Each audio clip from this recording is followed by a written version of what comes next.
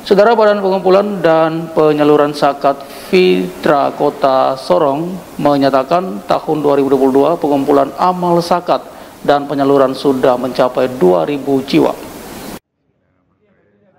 Koordinator Pengumpulan Zakat Fitra Masjid Agung Haji Ilham ditemui minggu sore di Masjid Agung Kota Sorong mengakui sejak puasa awal hingga akhir pengumpulan dan penyaluran amal zakat fitra yang disetor melalui badan pengambilan zakat sudah mencapai 2.000 jiwa.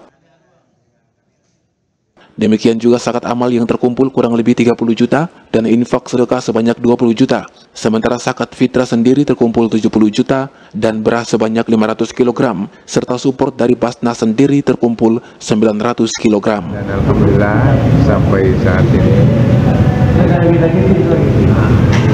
jumlah pembayaran zakat yang kami terima uh, baru kurang lebih 2.000 jiwa yang menyetorkan zakatnya melalui UPZ sektor Masjid Agung Al Akbar Kota.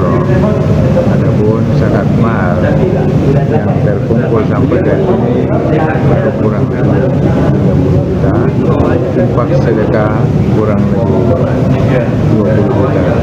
Adapun zakat fitrah itu sendiri baru terkumpul kurang lebih 70 juta.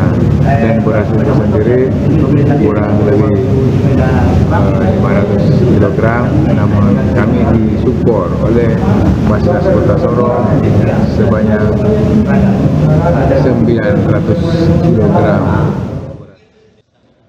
Darmawan Cawam Channel